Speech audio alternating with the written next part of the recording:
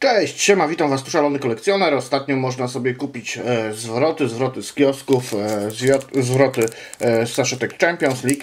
E, postanowiłem zakupić sobie boxa, niestety e, box e, nie przyszedł, przyszły saszetki luzem.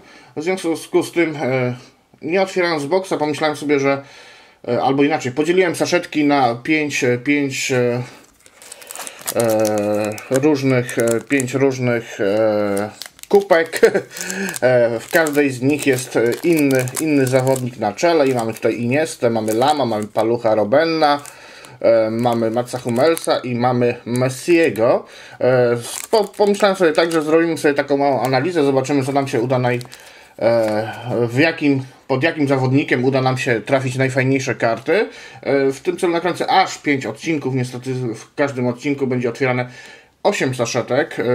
8 saszetek z tego względu, że niestety Iniesty mam tylko 8 saszetek, natomiast na przykład Hummelsa mam chyba z 13 czy 14, więc nie będzie to PM Box, ale będzie 8 saszetek z, e, z czołówką z danymi zawodnikami. Zobaczymy, e, która saszetka z jakim zawodnikiem da nam najlepsze karty. No to co, może zaczniemy dzisiaj sobie od Lama.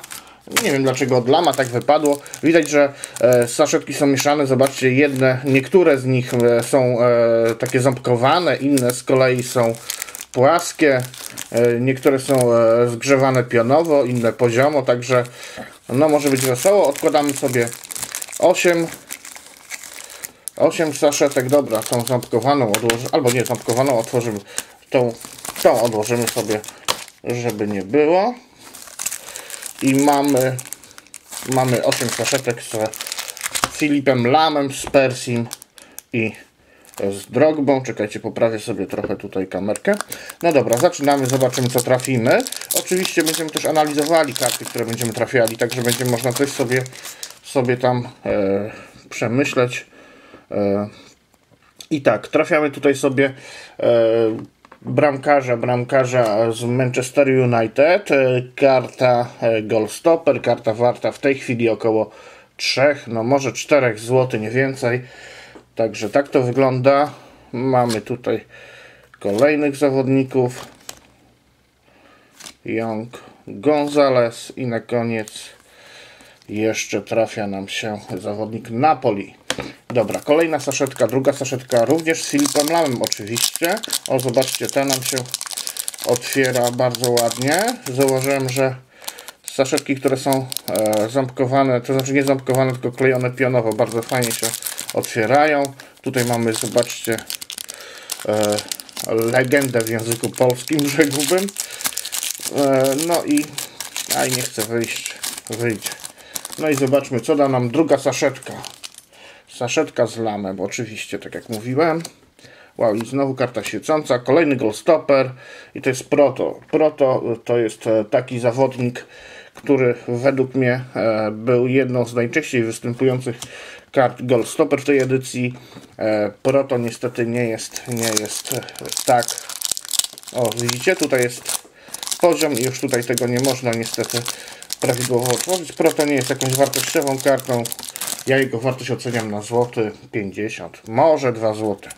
Ed Nazard, Podolski. Wow, i mamy tutaj coś odwróconego. Zobaczymy na koniec.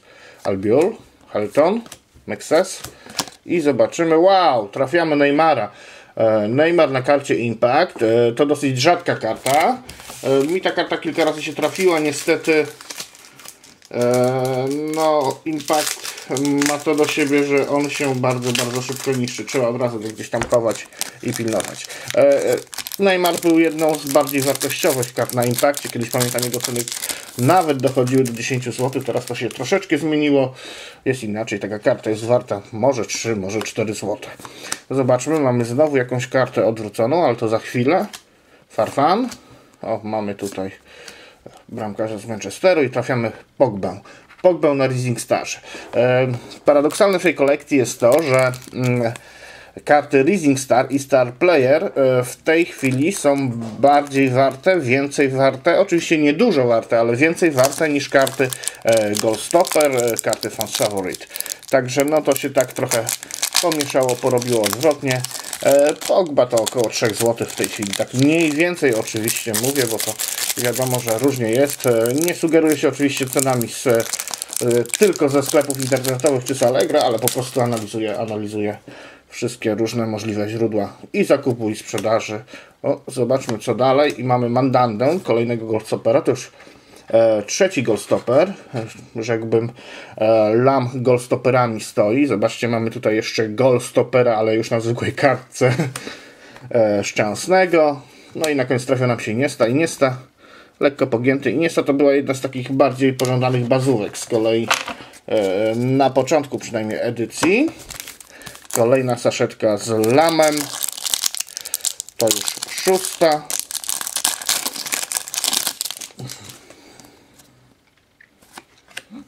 Tutaj chyba nam się. Wow! Zobaczcie, znowu proto. wow, wow, wow. Naprawdę, słuchajcie, jeżeli miałbym przeanalizować to, co dostałem, e, no to w zasadzie LAM daje głównie karty Goldstopper.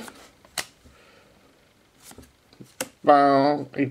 Tutaj oczywiście taka, taki mały ukłon w stronę e, ludzi, którzy prowadzą statystyki, z tego względu, że na tej podstawie można, można wyciągnąć jakieś wnioski.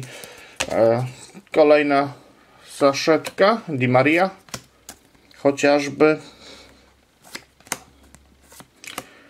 Hummels i na koniec trafiamy kolejnego Goldstoppera i kolejnego Mandandę. Zobaczcie, kolejna powtóra. Ja dziękuję. 5 Goldstopperów. E, od razu powiem, że karty, to znaczy karty, saszetki nie były grzebane, także e, no tak po prostu wypada i koniec. Dziwne, nieprawdaż? I ostatnia saszetka. Saszetka numer 8, Ribery chociażby. Oj, tutaj mamy star playera e, Huntelara. Huntelar to dobra karta. E, star player e, z Huntelarem potrafi kosztować 5-6 zł. Fajnie, że ją trafiliśmy. Fajnie, że jest. O, znowu Di Maria. E, Kupiłem te saszetki przede wszystkim po to, żeby trochę unboxingować i pouzupełniać sobie albumy. Jak wiecie, ostatnio zaopatrzyłem się w albumy. Trochę karteczek mi brakuje, żeby te albumy były kompletne, żeby można było je schować do mojej magicznej skrzyni. E, także, także e, no będziemy otwierali dalej. Zapraszam już teraz Was na kolejny unboxing. E, tym razem na tapetę weźmiemy sobie Maca Hummelsa. Zobaczymy co da nam Mac Hummels. Jeżeli miałbym ocenić Lam, Lam, Lam Goldstopperami stoi. Trafiliśmy ich aż pięciu. Nie trafiliśmy żadnej wartościowej karty, no na przykład Legendy, czy też e, Topmastera, no ale mam nadzieję, że jakaś inna saszetka kiedyś coś da. Pozdrawiam Was serdecznie, zapraszam na kolejny unboxing. Szalony kolekcjoner, cześć!